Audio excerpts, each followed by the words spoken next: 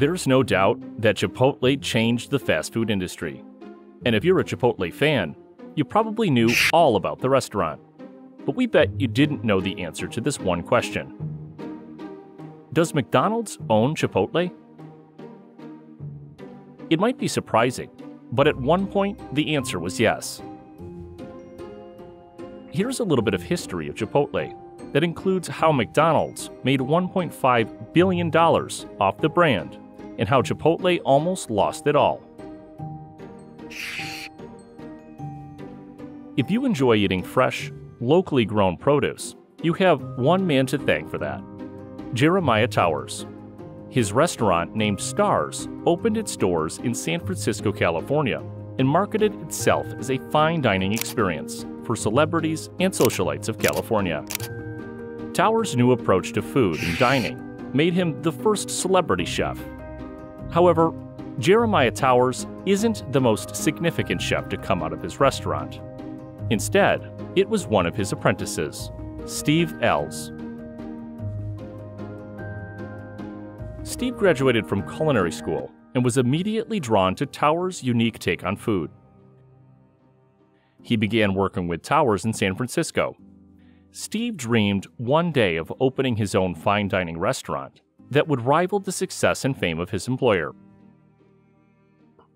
While working at Stars, Ells was exposed to many celebrities and wealthy patrons from all over the country. However, it wasn't the high society that caught his attention. It was the immensely popular taquerias down the street. Steve became obsessed with their tacos and left work one day with the intention of never going back. He had a new plan. He was going to open a burrito restaurant and used the money from that to open his own fine dining establishment. Drawing on his skills as a professional chef, Steve made the menu for the new restaurant himself. His menu emphasized consistency over quantity. For Steve, it was important that everything on the menu be consistently good, no matter when the customer came. Steve's menu also emphasized that he wasn't just another taco shop, because when it came to quality, Steve's food was more comparable to a fine dining restaurant than to the taquerias he took inspiration from. With the founding principles of high quality and consistent dining, Steve took a loan from his parents and opened his first restaurant in Denver, Colorado. The young chef had a lot riding on the success of his first restaurant. He knew that he would need to sell 107 burritos per day to be profitable. Fortunately, thanks to his emphasis on high quality food and consistency, customers kept coming back and bringing their friends. At the end of the first month, he was selling over 1,000 burritos per day. He began to call his little burrito shop Chipotle.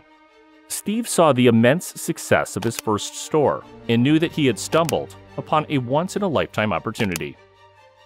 Steve quickly put his dreams of opening his own fine dining restaurant on hold to focus on the growing Chipotle.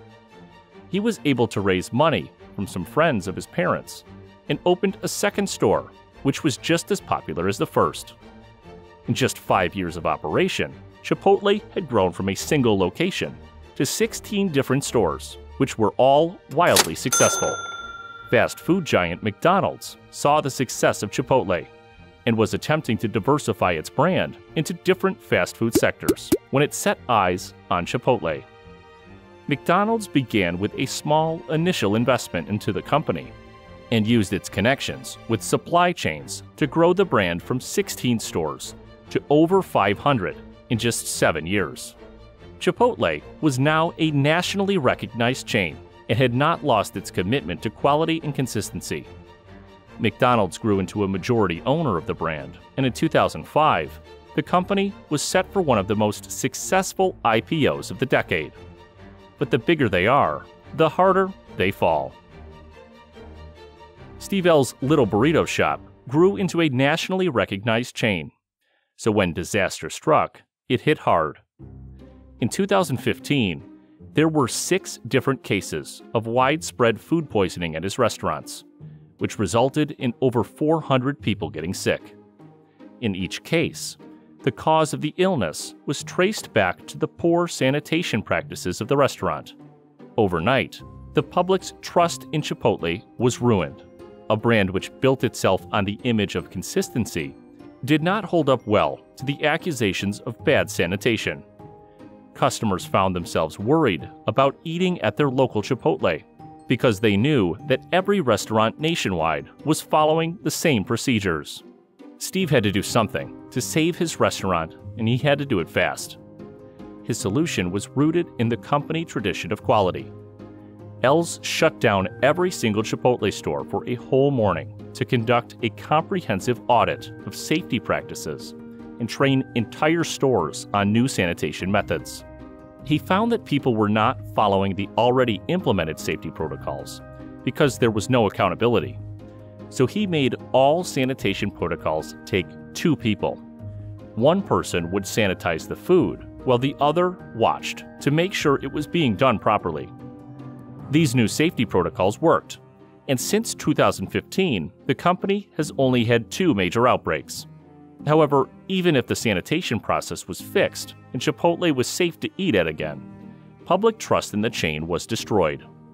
The company that was built on reputation lost it all to the food poisoning headlines and would have to change their marketing strategy fast if they wanted to succeed again.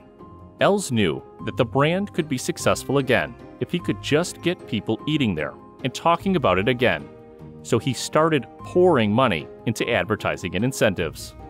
He created free food programs, as well as customer education programs that were only accessible by loyal customers.